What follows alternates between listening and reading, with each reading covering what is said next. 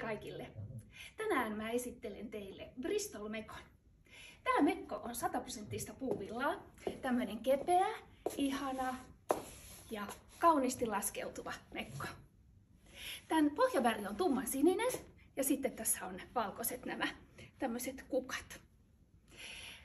Hihat on puolipitkät, hihan suissa on kuminauha kaistale, eli ne voi pitää näin suorana tai sitten ne voi vetää vähän kyynärvarren yläpuolelle pienelle pussille. Kauluksessa on pieni fyrrykantti ja nauhat, jotka voi sitoa. Itse tykkään pitää aina ne nauhat kiinni rusetilla. Noin. Malliltaan tämä mekko on aavistuksen slimmattu. Tekee sitä sierän.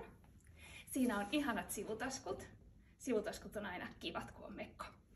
Ja sitten tässä on reippaasti laskettu vyötärö. Ja tämän vyötärön kantissa on tämmönen, tehty tämmöinen pieni tere, joka on tumman sininen. Hyvin työstetyn näköinen mekko. Ja sitten siellä on vielä yksi salsakantti ja siinä on myös se sama, sama kantti sitten siinä reunassa. Tältä se näyttää.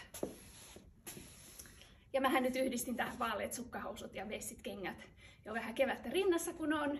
Mutta tota, saappaat, nilkkurit sopii tosi hyvin.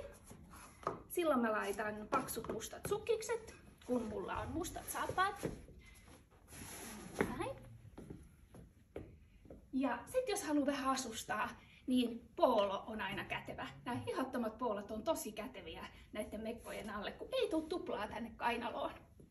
Ja sitten mä jätän nämä nauhat auki. Näin. Kiva mekko moneen käyttötarkoitukseen. Ja kesälläkin aivan ihana sandaaleitteen ja valkoisten tennareiden kanssa. Tämmönen helppo.